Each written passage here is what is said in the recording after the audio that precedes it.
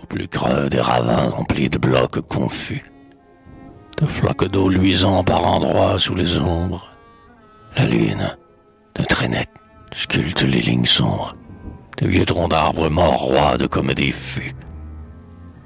Dans l'été baignés de violents arômes, qu'une brume atchidie humecte de sueur, elle tombe, et blanchit de sa dure lueur, le sentier des lions chasseurs de bœufs et d'hommes. Un rauque grandement monte, roule et grandit. Tout le monde effrayé rampe sous les arbustes. Une souple panthère arque sur un robuste, et de l'autre côté du ravin noir bondit.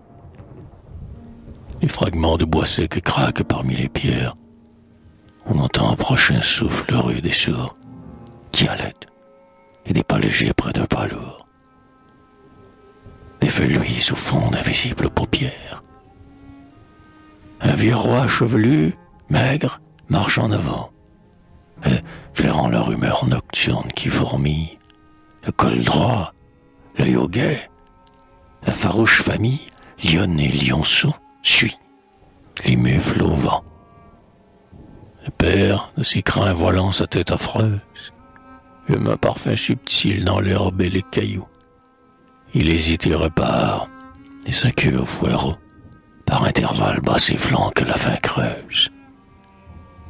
Hors du forêt, tous quatre, au fait du couteau, aspirant dans l'air tiède une proie incertaine, un instant arrêté, regarde par la plaine, que la lune revêt de son blême manteau.